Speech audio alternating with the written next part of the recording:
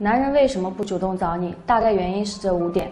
一般男生在追求一个人的时候，大多数都是主动的，比方经常打电话嘘寒问暖，或者接你下班，这都是爱你的表现。那么如果说他不主动找你了，肯定是有原因，大概就是因为这五点。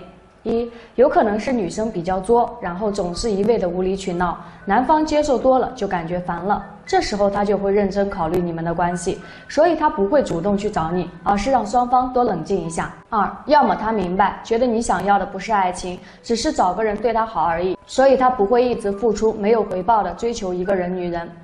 对他来说，还不如好好赚钱。有了钱，就会有更多的女人投怀送抱。这种男人一般心思都比较缜密，不愿付出的男人不要也罢。三，也许是对方想故意冷落你，这是一般是职场老司机，他们都喜欢采用一贯的欲擒故纵的办法，让你捉摸不定，然后对他死心塌地。遇到这种男人，女生要小心了，不要被他的手段蒙蔽。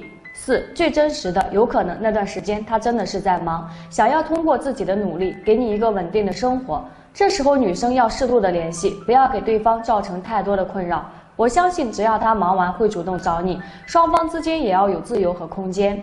五心里很爱你，但是他不确定你对他的感觉，所以不知道是该主动还是保持距离，这让他很难做出选择。如果你遇到一个对自己有感觉，自己还感觉良好的，不妨多给对方一个暗示。这样子也会让他有安全感，然后更加确定对你的心意。